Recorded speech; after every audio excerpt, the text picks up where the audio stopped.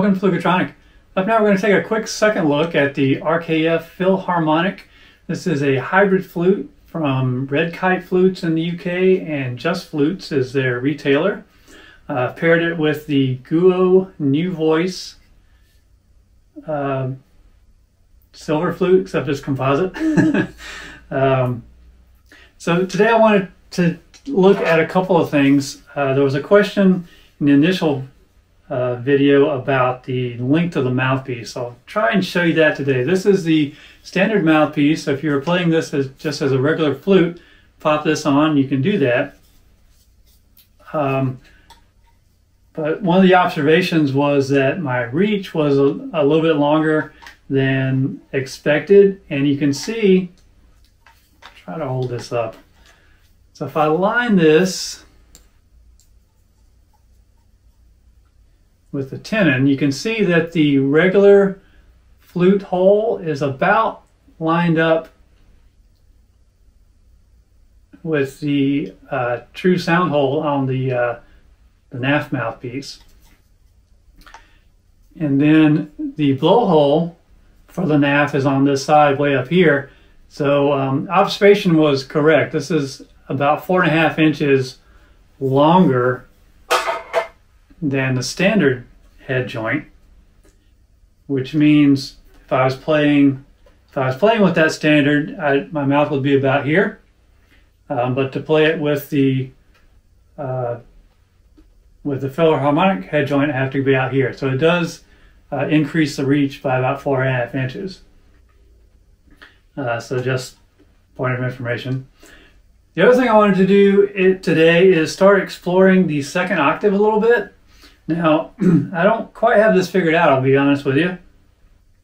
The range of this is advertised as two and a half octaves, and I'm probably going to have to get some help from the uh, Just Flutes guys to figure out how to do that.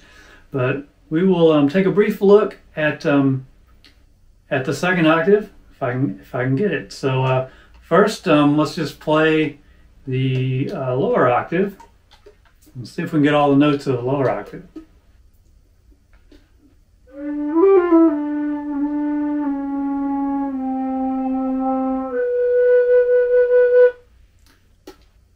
Popped up the low B there already.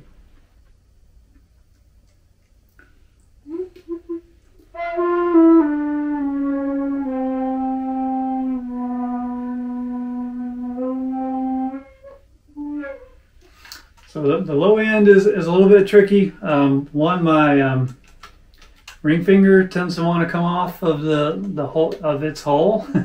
and then uh, also the rollers are pretty tricky.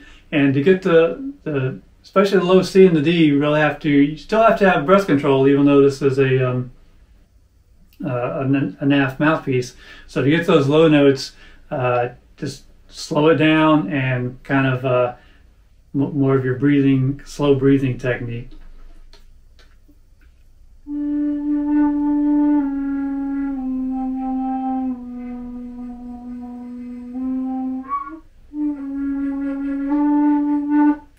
Make sure all the holes are covered. All right, let's go on up.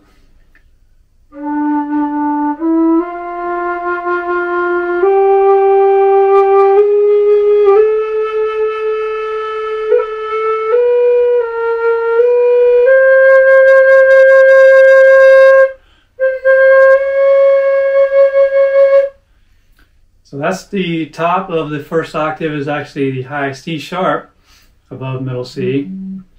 And so the D, D5 it would be really starts the second octave. And that's very easy to do. Uh, basically you just lift, lift your index finger from the bottom octave and it'll pop up to the D.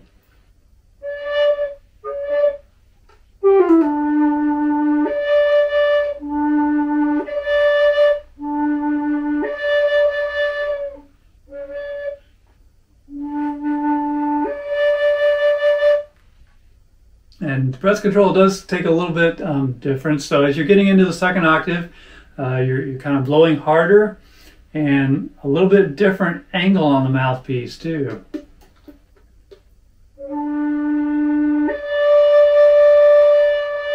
So it kind of helps to push it out just a little bit to get um, get a little bit different angle going down the uh, the windway there.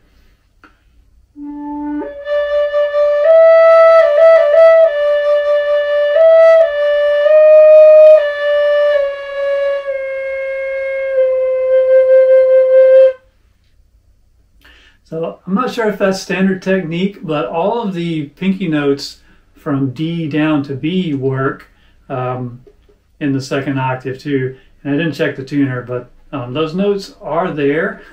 so there's a little bit of overlap uh, between uh, between the registers. So so you can get uh, say the B up to the C sharp in the lower register. Um, you can also get them with the pinky and the upper register.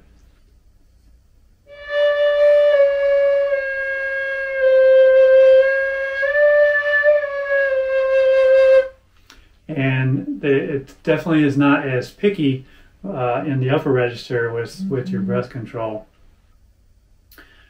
All right, um, so you heard me do a D and an E. Those are pretty easy to get. Once you get over E, you really have to uh, kind of focus the wind stream going in into the mouthpiece and blow a lot harder. So I can usually get up to about a G in the second octave, and then it just kind of breaks on me. Let's let's see what happens here.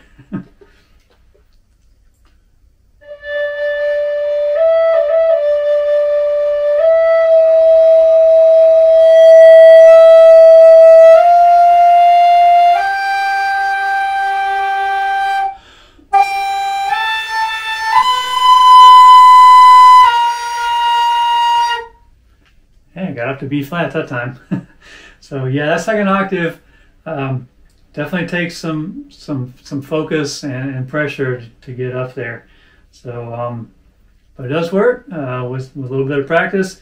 Third octave, have not got there yet. So, hey, like I said, I've never played a silver flute or even a composite flute uh, before before this one. So if you spot something that's wrong with my technique, do not hesitate to uh, give me a give me a note down in the comments. I'd be uh, very happy to hear from you. Uh, till next time, thanks for watching.